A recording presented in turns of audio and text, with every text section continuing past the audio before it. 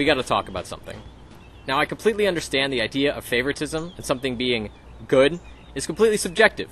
And that, you know, whatever saying you choose to use, either beauty is in the eye of the beholder or uh, one man's trash is another man's treasure, that's all fine. But your suggested hands, they're garbage. Now, don't get me wrong, there have been plenty of hands that have been suggested that are actually playable, and to those people, I appreciate you. However, this video is just going to be to clown on everybody else. Like, seriously, these are all the hands that you guys have told me to play. Here's it on the full screen. These are all of the hands on the range chart that you guys want me to play. And like I said, there are a few good ones, but most of them, just garbage. Unplayable. So here's what we're to do today. I'm to go to the Daytona Beach Racing and Card Club. I'm to sit down at a 1 2 table instead of a 2 5 table, and I'm to blast off with all of your garbage hands so that you can see why your hands are garbage. And I'm to lose money. And this is your fault. Quick interjection before you watch my pain and suffering. If you do want to see me play your favorite good hand, you can leave that in the comments for me and I'll get to it. While you're there, consider liking this video and subscribing to the channel for more content. I think it's the least you could do after submitting all of these garbage hands. Without further ado, Here's my experience playing all of your terrible hands at 1 2.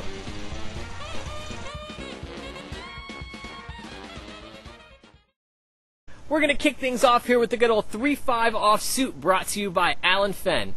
Now, what better way to play this hand by to raising under the gun to 7.5x? That's what we do. We raise to $15. Folds back around to the big blind, who makes the call. No one at this table knows what I'm doing yet, so I'm hoping my image can at least get me a couple pots before they start to figure it out. Flop comes pretty good, comes 8, 8, 10. Big blind checks to us, and we bet 20 as a complete airball. Big blind lets it go, and we take the first one down. I know we're going to get punished, it's just kind of a matter of when. Next hand of note, we're looking down at Jack 5 suited in the big blind. Grand Moff Gage says that the way to play Jack 5 is to limp, so when we're looking at two limps and the small blind completion, we check our option and see that flop. That flop comes 5 6 queen. We've got a pair, that's cool.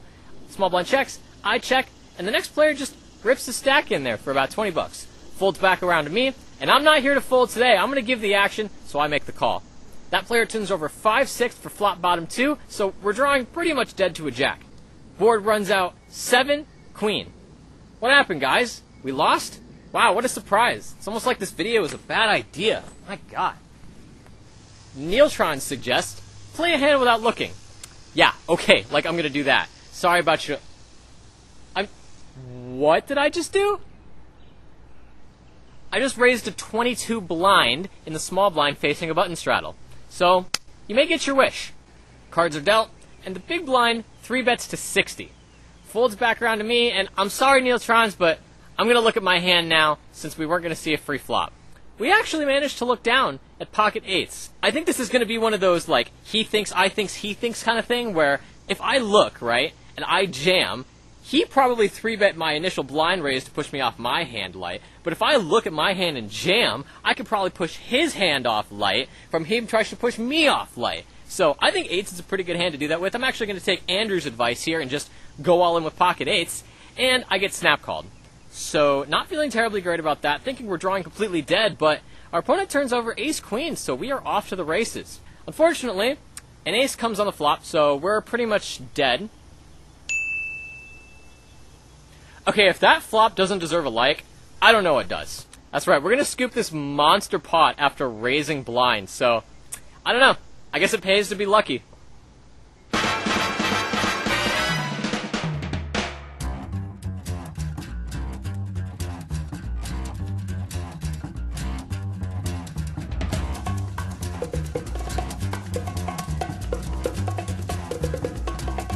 Little bit of strategy here from our friend Leonard. If Jack 10 offsuit always hits, then I guess it's better to raise now and get more money in the pot for when it does hit, right? Two limps to us, and that's what we're going to do. We're bumping it up to 17. First limper calls, and the second limper folds. So we're going to go heads up out of position to a flop that comes 3 4 9. This is not likely going to be a hand that we're going to win with at Showdown, so the only way we can win is trying to bluff off our opponent. That's what we're going to do. We bet 28. Our opponent thinks for a little bit and ends up making the call. We're going to go heads up into a fourth card, which comes a 5. Now, all the outs we had for our backdoor straights are gone. The wheel got there. There's a flush draw on board.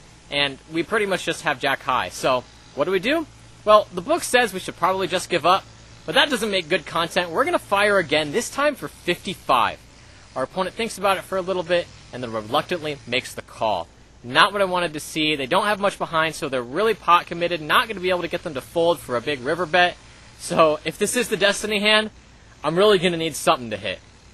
We're going to go into that river, and that river comes a 10. At least we got top pair, and this makes this hand a beautiful hand to just check and take our showdown value. Maybe if they had a draw, we'll give them a chance to bluff because we're just going to call because we got top pair.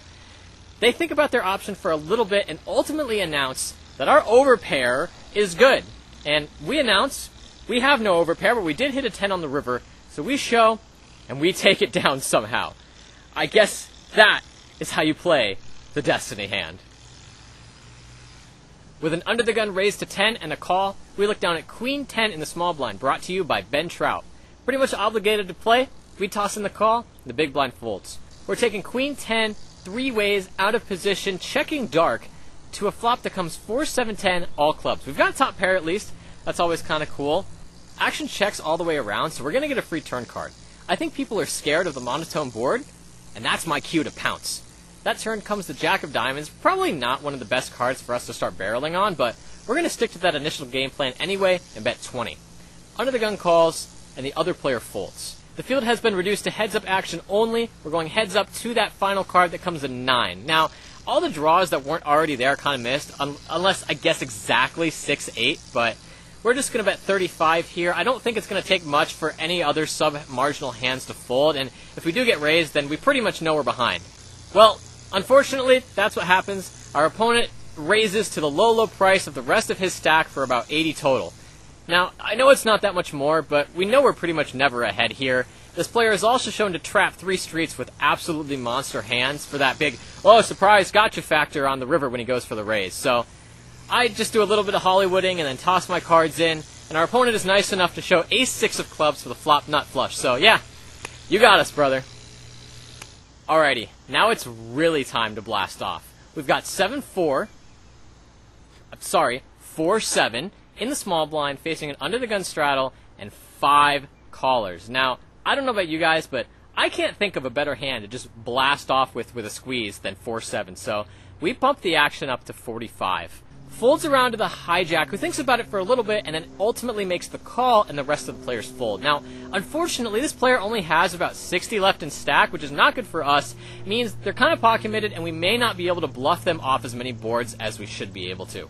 Maybe we should have thought about our squeeze size to $45 after looking at our opponent's stack sizes. Maybe we should have thought about picking a different hand than 4-7 to squeeze with. Maybe we should have thought about this entire video. This is so stupid. Please send help.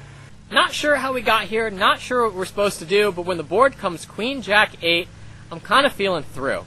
For real though, I'm really not sure what we should be doing here, because if we just jam, then they're going to have a lot of hands that just completely call us off. If we check, that does give them an opportunity to jam, which does let us get away from our hand a lot easier.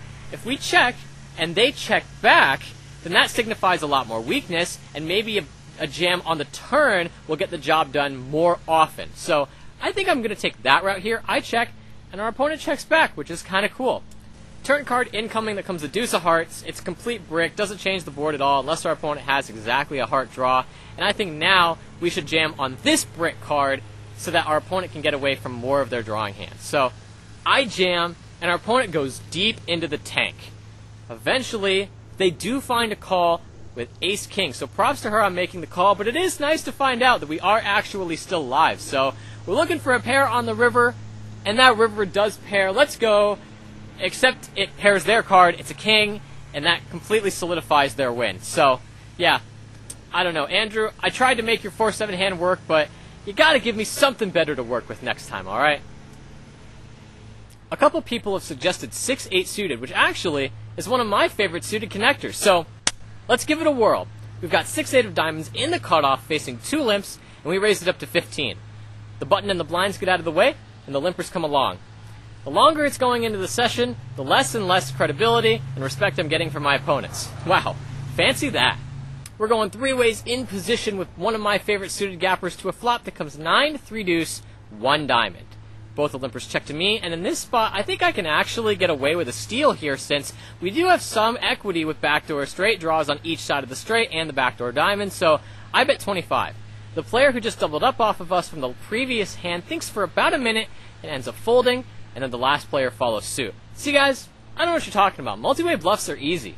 I just hope that I can maintain just a little bit more credibility for as long as I can. So let me ask you guys this. How can we possibly stay loose without playing 7 deuce? Also, why'd you leave me on red, Greg, from Greg Goes All In? I challenged you to a heads up match and you left me on red. I swear I'm coming for you!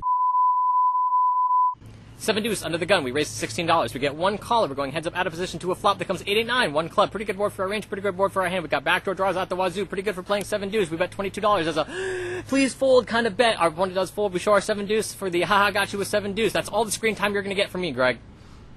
Guys, look. If I don't control any of the cards being dealt, and you give me three hands to pick from, I'm just gonna pick whichever one shows up first. And I'm sorry if it's not the preferable one. Jack nine suited is also my girlfriend's favorite hand, so it's not like I can't not play it, right? There's a button straddle and a small blind limp, and we bump the action up to $22. Doesn't take that long before the action folds all the way around, which, to me, in this session, is going to be an absolute win. Here's some other hands that folded all the way around. Drop it.